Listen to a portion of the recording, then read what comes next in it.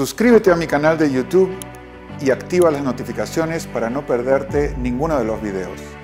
Y si te gustan, dale like y compártelos.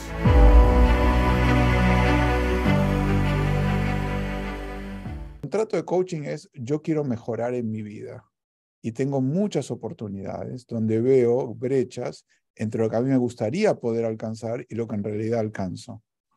Entonces vamos a trabajar y puede ser trabajar 10, sesiones, pueden ser 5 o pueden ser 30, depende. Hay, hay gente con la que trabajé por años, pero que cada semana viene un problema distinto.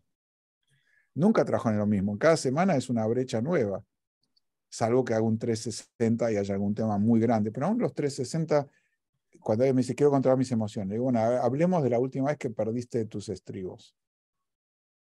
Y hablemos de qué pasó y qué querías hacer y todo, pero no hablo del problema como a ver cómo controlas tus emociones. Ese es un problema demasiado abstracto. Para mí no sirve ese problema.